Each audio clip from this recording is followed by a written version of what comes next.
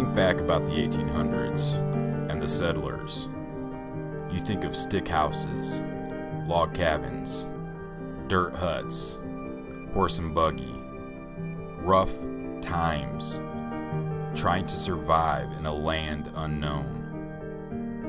And a photo like this makes sense. But when you look at the big picture, things get a little blurry.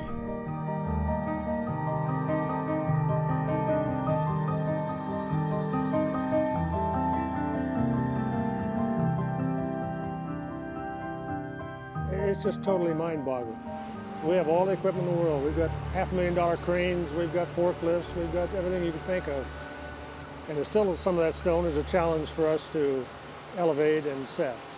These guys did it with nothing but block and tackles and pulleys and ropes and manpower. It's amazing.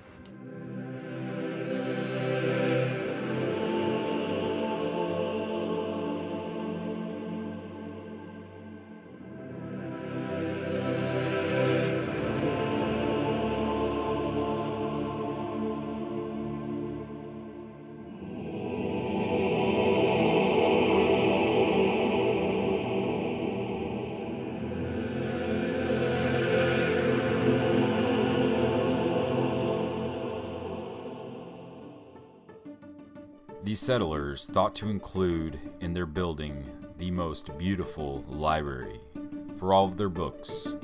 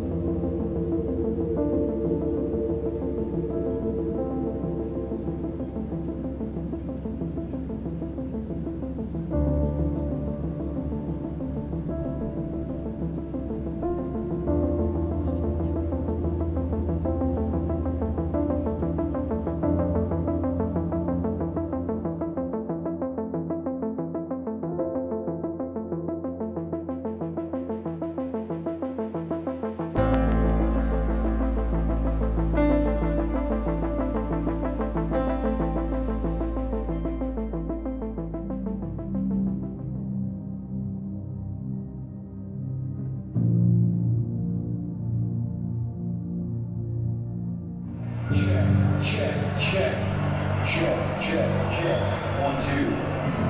Check, check. Check, check, check. Check. When standing on the second floor, directly below the dome, you are suspended by a glass honeycomb type of transparent floor. Now, when you speak, it's as if you are speaking into a microphone. Your voice becomes amplified, but only you can hear the amplification.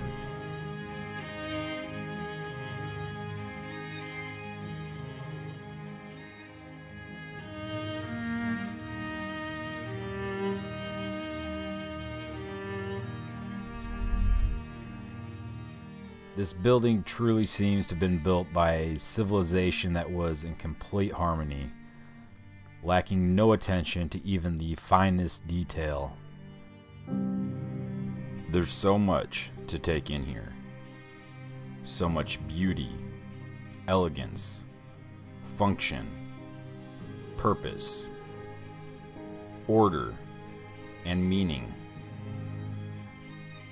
And to see it go from a timeless masterpiece to today's construction paper cutouts and signs.